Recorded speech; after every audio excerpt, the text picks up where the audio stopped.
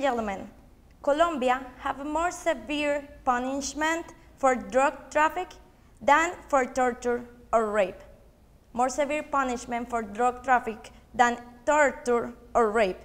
This has to be something, there has to be something wrong with my society. And the point of this is that the war on drugs changed society and the war on drugs changed society values.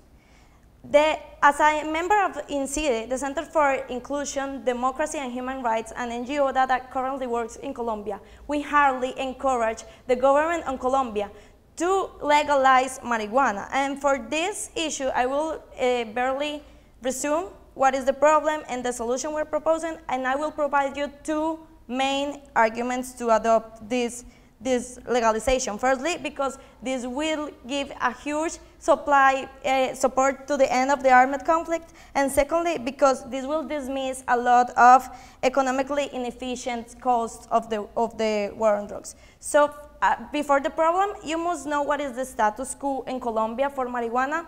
Marijuana is prohibited but decriminalized. It means that uh, the government doesn't allows people to do it except on a minimal dose that it, it has to be used for personal consumption.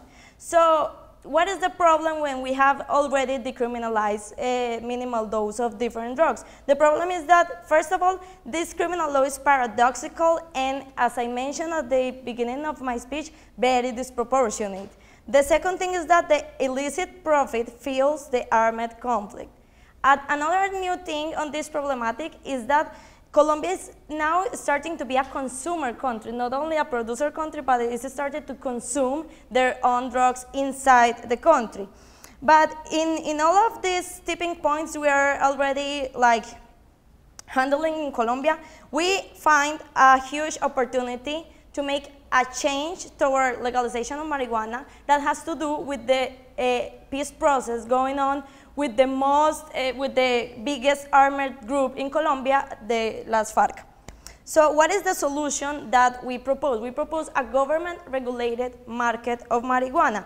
This means that marijuana will be allowed for the consumption, distribution, and production, and for both medical and uh, recreative uses of it. And how is this going to happen? This is going to happen by an expropriation of current crops of cannabis.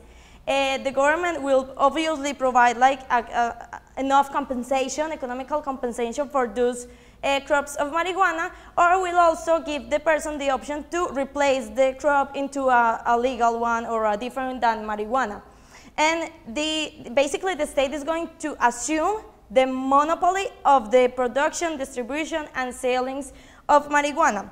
One important thing of this policy is that it needs to be uh, made in a way that allows a transitional period in order to fix some of the things that has to be done and to, in order to improve a policy.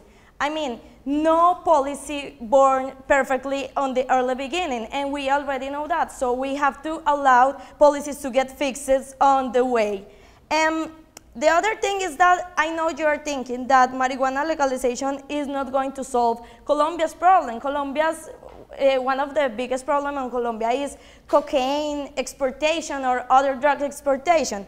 And taking this into account and, and knowing your concern, I still believe that Colombia should adopt this policy for the main two arguments I firstly pointed.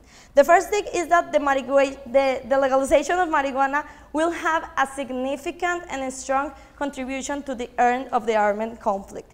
How is this going to be like? The, the, the problem Actually, the current problem of the armed conflict in Colombia is that it's inserted on a vicious circle. This vicious circle is derivated because the, it's a long-term, fully funded war.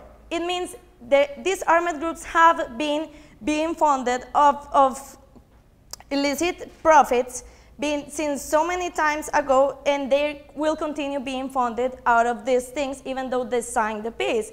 And this vicious circle uh, basically consists in that even though they sign peace agreements, they, they will transfer the business to new criminal networks or criminal bands, and it, be, it obey to our like equates to a very reasonable thing, and it is that illicit markets are always defended by weapons. There's no other way that you can defend an illicit market as it is.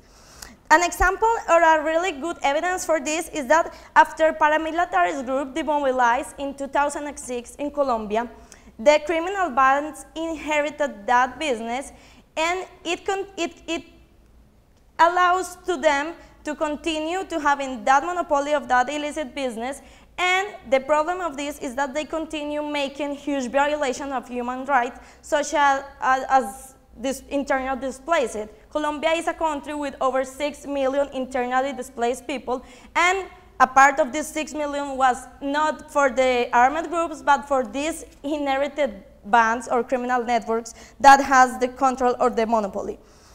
My second argument is that um, the Colombian war on drugs led inefficient coast. Uh, when I'm saying inefficient, it is that it didn't achieve, achieve the goal that they were made for. On the first place, because they, it, the demand on drugs is an inelastic demand, and on the second place, on the other side, the supply side on Colombia has a very specific um, characterization, that is that socioeconomic conditions of people of Colombia maintains them on the supply side because it is so profitable that no matter how many people dies, no matter how hard the punishments are, there will always be someone on that supply chain. So it's like binded on the both ways. It's binding on the both ways. But the most inefficient thing of all is that we are figuring this out after so many years of this. After having 14% of our populations on overcrowded jails, uh, contributing to a human rights crisis on the jails, and making this like it were new when it is not new. So what I beg to you is like to think about this as a different approach to legalization of marijuana in Colombia. Thank you so much.